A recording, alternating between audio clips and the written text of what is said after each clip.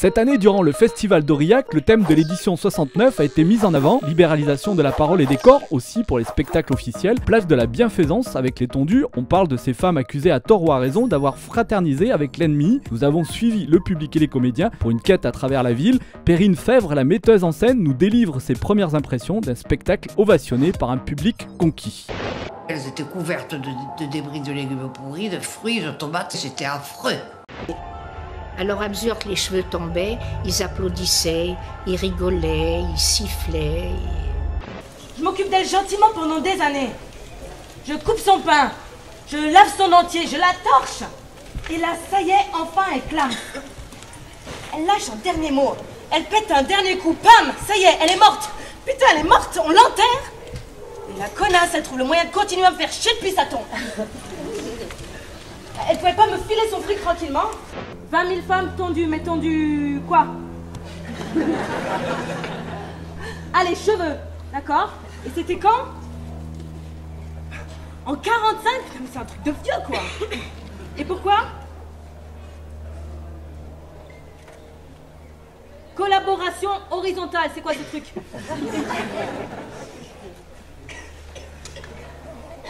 Ah ouais. Ouais, ok, bon, en gros, c'est des meufs qu'on baise avec les Allemands, quoi. Putain, Kamel, se trouve ma grand-mère, elle a baisé avec un Allemand. Ah, la salope Attends, mais je parle comme jamais, c'est bon, elle avait qu'à réfléchir avant de coucher. Moi, je baisse pas avec n'importe qui, hein. Non, je baisse pas avec n'importe qui. Non, et oh, je vais juste embrasser. Attends, et puis c'est pas ça le problème, là. Eh ben, le problème, c'est la mission. Eh ben, le tag, là, tendu pour la France. Et puis les roses noires, vas-y, va trouver des roses noires en plein festival Aurillac.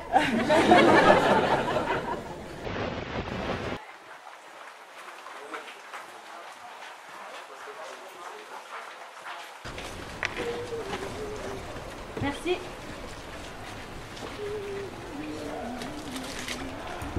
Attends, tu vas me chansons d'anniversaire, là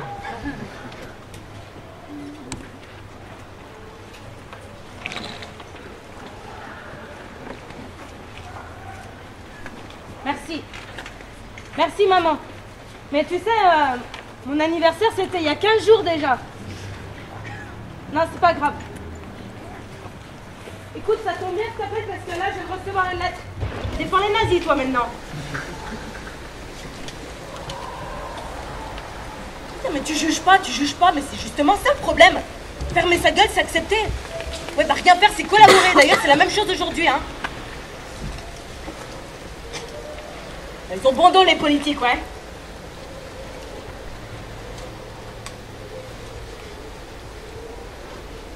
Mais vas-y, Kamel, pourquoi tu me parles de l'Algérie? Ça n'a rien à voir, je te parle de ma grand-mère. Il n'y a pas que les Arabes qui souffrent, hein.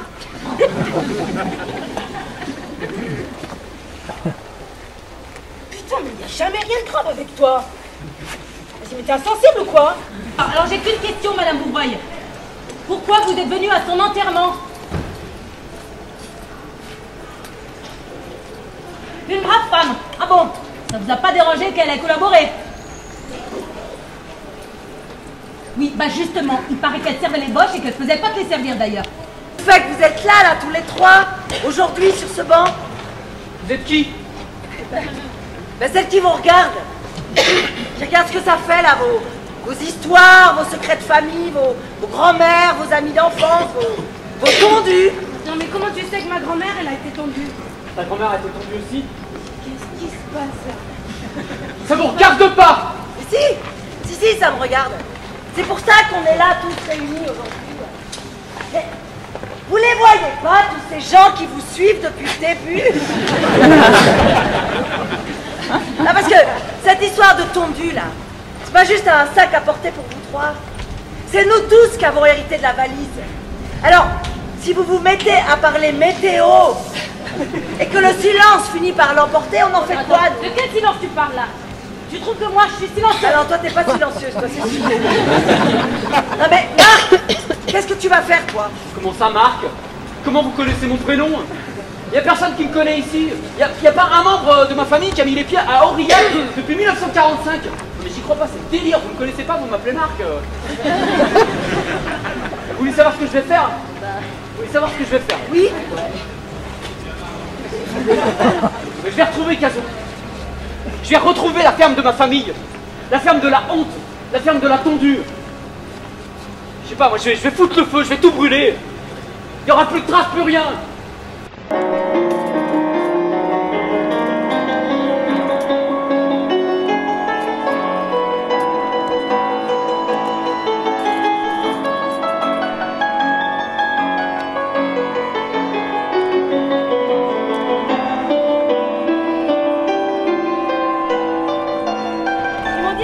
ici qu'il y avait un spectacle. J'ai dit chic, c'est du cirque. Ils m'ont dit oui, c'est une sorte de cirque. Alors j'y suis allée. Ils m'ont dit mets-toi devant, tu verras mieux. J'ai dit j'ai jamais vu d'animaux sauvages en vrai. Ils m'ont dit bah tu vas être servi. Tu vas voir comment on va les dompter ces hyènes d'un coup de rasoir.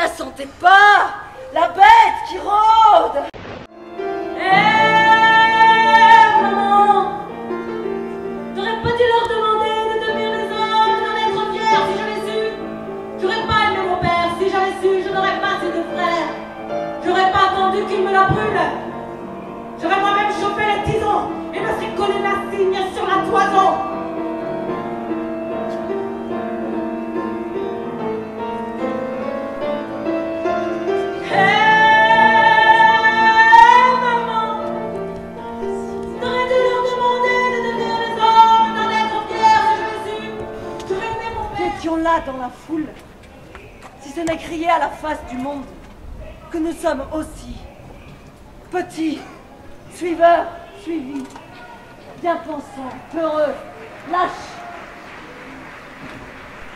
et rassurés de sacrifier quelques femmes toutes ces centaines d'années au creux de nos bûchers. Non,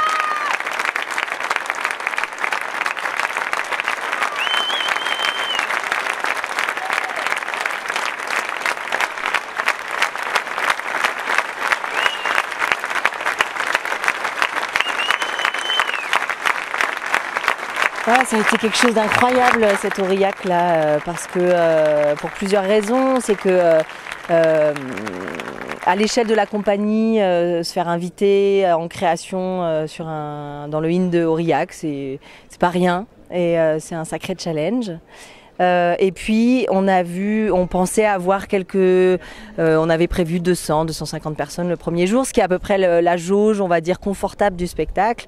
Le premier il y avait 600 personnes et ce matin je pense qu'on était largement au-delà du millier.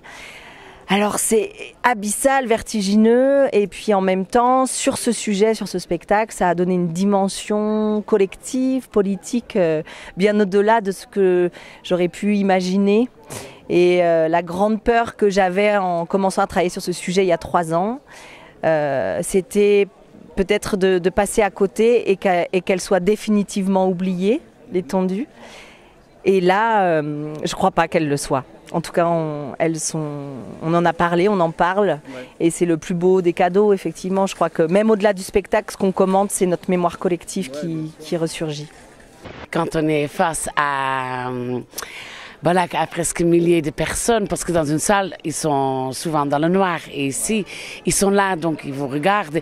Mais en même temps, je pense aussi que ce spectacle, euh, je crois que c'est partagé par, par tout le monde dans, l'équipe qu'il y a une envie de le donner, tu vois, de donner à entendre ça. Donc, il faut aussi qu'on soit attendu. Donc, du coup, ça aide. Tu vois, c'est aussi le, c'est peut-être le public, mais c'est aussi ce qu'on est en train de raconter, ce qu'on, ça, ça nous, ça nous porte euh, vers ça. Et, et ce serait bien que ce soit entendu. Voilà.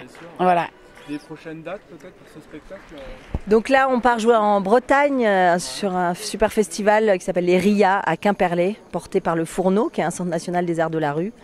Donc on joue le 31 août et le 1er septembre à Quimperlé. Et puis ensuite, on a plusieurs dates dans le sud de la France jusqu'à mi-octobre euh, dans le sud-ouest. Voilà, il faut aller voir sur le site des arroseurs et vous avez tout, tout pour nous trouver. Bah, merci. merci.